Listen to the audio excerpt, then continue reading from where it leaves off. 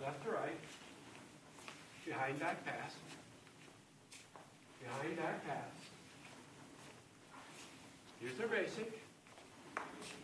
Now we'll rock back and right into the right and left. The following basic.